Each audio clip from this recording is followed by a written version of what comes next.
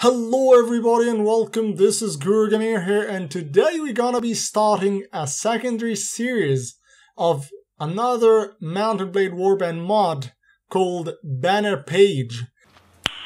Nice. And uh, this is not a total conversion mod, this is just an improvement for the native, uh, pretty similar to Floris, but it adds more uh, animations and new features, uh, new items, of course, and it improves the visuals and textures and that stuff. Oh my god! Wow! So it's it's a it's a very interesting mod. We'll be trying to test it a little bit. And by the way, the other uh, series, A New Dawn, will continue. Uh, maybe not for very long, but you'll see in the next episode of A New Dawn. But anyway, uh, let's let's just without further ado jump into a new game.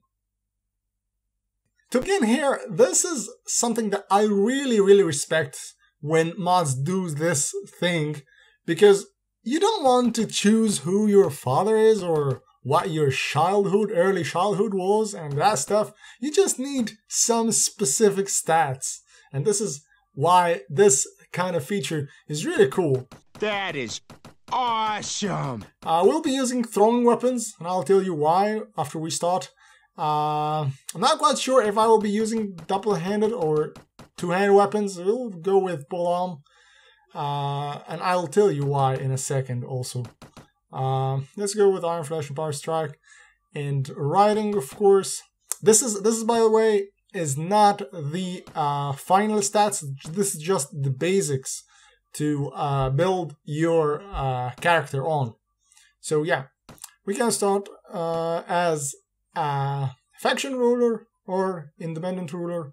Uh, you know, there, there's a lot of options here, but uh, for I've, I've actually tested some of them, and I think I'll go with the first option, which is the bandit leader.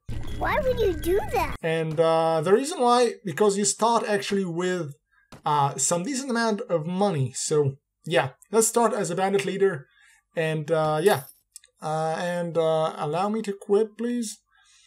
And then we're gonna be called Sam. And don't ask me why I'm I'm I'm, I'm naming him Sam. He looks like uh, Yosemite Sam, you know, but this is not the case. Anyway, um, I think yeah, I think this is kind of cool start, you know. Uh, or let's increase charisma more than intelligence. Yeah, so that we can have more leadership and trade, uh, which can be useful, you know. Increase more in looting, uh, and uh, I don't know, maybe more prisoner management and power throw. Yeah, that looks cool to me. And more polearm and throwing weapons. And uh, the reason why I'm not using two-handed weapons is that two-handed weapons in this mod kind of suck, to be honest. This sucks more than anything that has ever sucked before. But let's not talk about that. For now, for now. Gorilla Gorilla, if you're watching, please add more two-handed weapons. Anyway, we start with five trash troops, but nothing too crazy. Uh, we got a book, which is cool. And we got a horse and a mole, which we will be using. And um, kind of average stuff, you know. But we got a decent amount of money, and so that we can, I think, I think we can start buying an enterprise. But let's try and see something here. Uh, study important reference material, and these are the kind of in-game Wikipedia. And this mod is kind of very different than the uh, than a New Dawn. You'll see here that the Swadian Knights, their stats are kind of strange. Level 28, and their strength uh, only 15. and proficiencies around 150 or 130. This is kind of strange for high tier troop, but uh, they have decent equipment, of course, but uh, their proficiencies and stats are a little bit strange.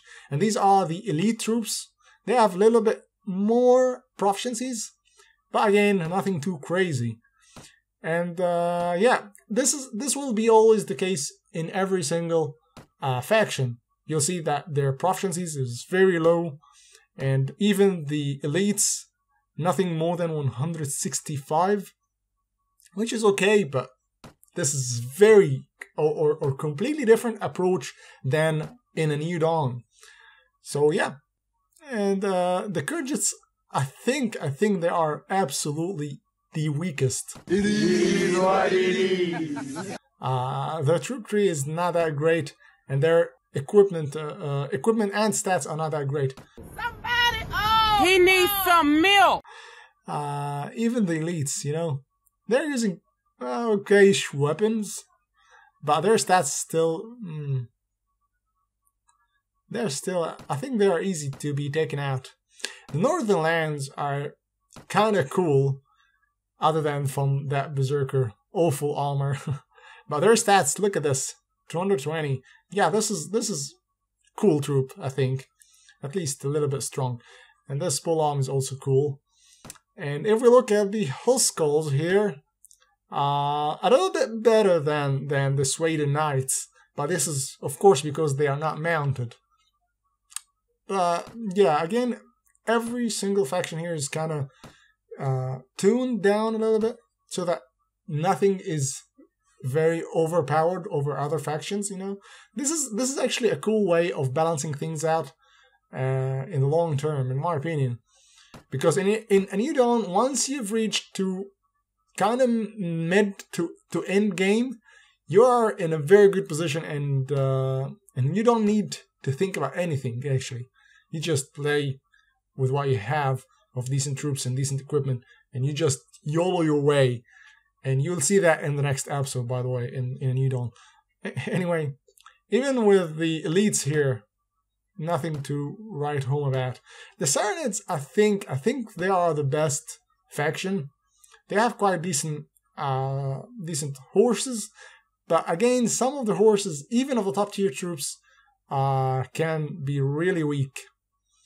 And uh, we look at the Mamluk, you know, eh, nothing too great. And even the horses, they have some decent horses, but one of the horses can be taken out quite easily. And this is kind of strange. Let's look at the mercenaries, because they have quite decent features here. Uh, Nephatron Raider. These guys have some grenades. Yeah, these guys are really, really amazing.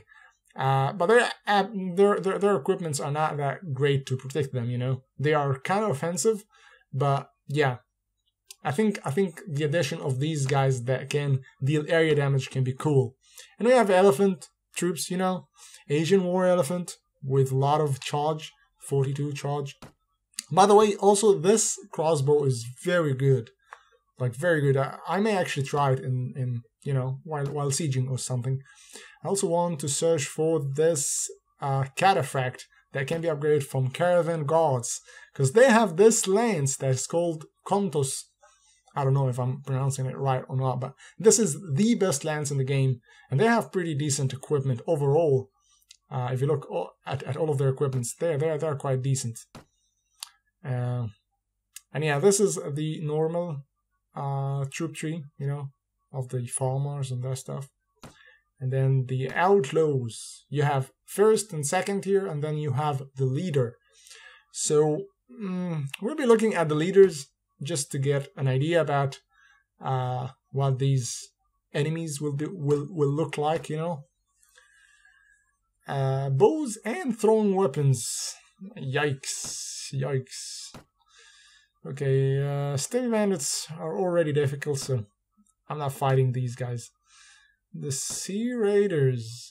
Again, throwing weapons and bows.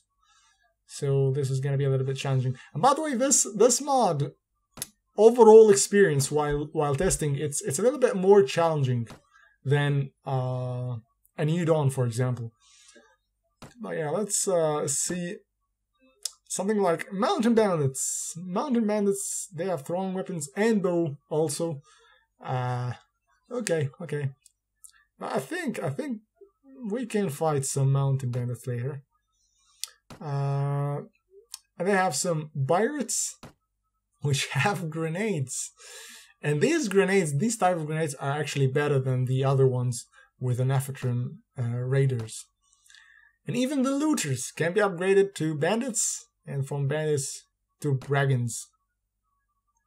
And uh, yeah, they are not that tough, but still an upgrade, and they can actually have horses. I don't know why are these guys, but all of them are upgraded to Dark Knights, which have absolutely great stats and equipment. He's too dangerous to be left alive. Uh, we can see here even the Slave Chief with kind of decent equipment, but yeah, meh, you know. Sword Sisters with awful horses. They will be dead in no time. Of course, they have better equipment as an armor, but yeah, nothing to write home about. Okay, look at this. The variety of one-handed weapons. Absolutely amazing. I love it. I absolutely love it. And if you look, some cool looking, even unique uh, items. Oh, that's nasty. Balta. Balta is actually a word in Arabic, by the way. Anyway, uh, I want you to look at the amount of variety of one-handed weapons here. And uh, look at this Morning Star. This is a one-handed Morning Star with 33 piercing damage, 96 speed, and it can crush through blocks. Pretty amazing, huh? Look at this. Two-handed weapons. One Morning Star, which is actually one-handed, two-handed, which is actually act as one-handed on, on the horseback with only 5 more damage and less 1 speed and it's unbalanced. And by the way, this is all the two-handed weapons. There's no other pages or anything. These are all the two-handed weapons. God damn it! Mm, kind of frustrating for me. You know me. You know how I love two-handed weapons. This is can be the best blunt weapon, and it's a quest item. I don't know how to get it, but yeah.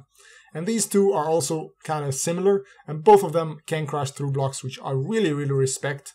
But other options, if you look at all of that, I don't think we will find anything that is better than this sword or this saber. 44 cutting and 96 speed. Compared with any other sword, you will not get a better deal. Even if if if you have more damage, you will sacrifice a lot of the speed. So, in my opinion, this saber is the best. But two-handed weapons in in general in this mod is kinda are kinda on the weak side. This is why we can't have nice things. So this is why I'm not, mm, you know, I'm kind of on the on the fence here. And these are all the pole arms. The pole arms are kind of cool.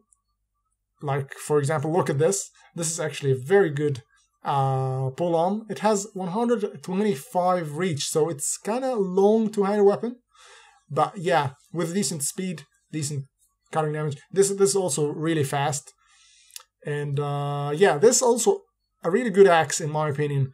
With two-handed weapon, it's actually slower than the pole arm. What? How? Why? I have so many questions!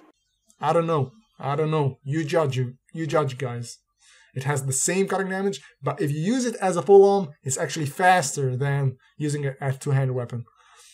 And uh, yeah, because of all these options, I think I may try something, you know, uh, that can crush through blocks.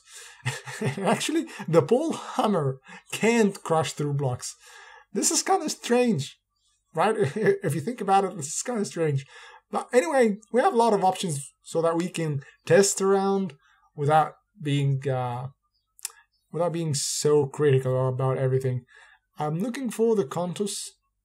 Yeah, here it is. The Contus is a lance. It it's it's it's very long. So yeah, I'll definitely try to go for these decent weapons and uh, see how it'll go. Really. And for the ranged weapons, the really really good aspect of this mod, uh, for me especially, is the introduction of area damage, like these Naft arrows. They are explosive arrows that deal damage on impact. Uh, and, and by the way, there are only six of them, so that nobody can abuse them, you know? So they try, or the modeler try to balance everything. Even here, the grenades are, there are only two of them. Uh, Naft grenades with a little bit more radius, but Greek fire grenades uh, deal more damage with less radius. And there are only two of them. Again, they try to balance everything, not to abuse the mechanics of area damage. And if you look at all of the ranged weapons are actually kind of decent and good looking overall. And uh, by the way, the mod has, um, or, or on the mod page, you'll find a lot of videos about slings and, and, and, and cool weapons, to be honest. I really want to try this net, by the way. And uh, yeah, I don't know what weapons we will be using, except from the grenades, of course. But uh, I may try to use some sort of a crossbow, like uh, like yeah, like this one. This is this is actually really good. There are slings here, and uh, yeah, this this crossbow also can be act like a machine gun, you know, reloaded every seven times, something like that. But yeah, cool looking shields also, but I'm not a big fan of shields. These these these look cool, you know, but I'm not a shield user myself. You know me. Helms and armors and boots, gauntlets, pretty cool. But we'll be looking at the horses, and uh, this horse is actually look very cool, but it's it's it's weak. But yeah. Uh, anyway, we'll be looking for a horse called Champion. Yeah, Arabian Champion Charger. 42 speed and 60 armor with 30 in charge. This is this is really decent. Even even if you compare it with other chargers, uh, maybe they have more health or more charge, but in my opinion, the speed is is the most important thing here. An Asian war elephant and African war elephant. African is much faster with more charge, which can be cool. And these animals you can uh, hunt for the loot, which is actually good. Uh, but we'll get to that later. We'll get to that later. Boar are the slowest, so we may try to to, hide, to, to hunt some boars. But anyway, we've spent a lot of time uh, experiencing with stuff. That's by the way, I will link uh, the mod in the description just in case you wanted to test it. Uh, so by all means, download it and take your shot. Okay, uh, right now our priority is to get a decent lance and a decent horse. Throwing hunting spear, 90 cutting damage, but only one of it. Again, in this mod they try to balance uh, the damage with the quantity, you know. Oh, yeah, uh, I can't use that unfortunately, but yeah. Let's try and uh, Brian Enterprise. Look at this. You can see that the textures and, and graphics are a little bit improved, and even the lighting is better than in, New Dawn, for example if you compare the two mods. And by the way, in a New Dawn videos, I usually fix colors. I will not fix the colors here because it, it looks cool. It looks lively, you know. Uh, not like in New Dawn. I shouldn't have said that. I should not have said that. But anyway, let's try and buy in. Okay, we still need to do something. Okay, okay. Madam, this is also another thing added to this mod where you can entertain your troops or entertain your uh, yourself. Then by all means, uh, but let's not talk about that. Again, nothing sexual. uh, okay, I don't know. I will, I will be still be looking for a lance and sword, a lance and horse. There's a tournament in Uxkhal, so yeah, let's go there. Oops off speed travel. I see nothing. I'm not cheating. Forest Dennis, no, I'm not fighting these. I'm not fighting these right now. These uh, deer can be hunted, but they are very fast, and I don't have the horse to hunt them. So yeah, let's check for a lance. Decent lance, please. Okay, two-hand weapon is cool, but I'm in an urgent need for a lance. Mm. Fine light lance. Eh, I don't know. I don't know. I, I don't think that there's anything here that is worth buying. So let's check the horses. Uh, timid courser. This actually can be cool. It's it's fast, but uh, it's very expensive. Very very expensive for my likings. Uh, I don't know. I don't know. Let's check the tavern. Maybe we'll find a trader or something. Hmm. Okay. Let's not. Let's just walk around till the morning, and then um, we will do the tournaments in the next episode.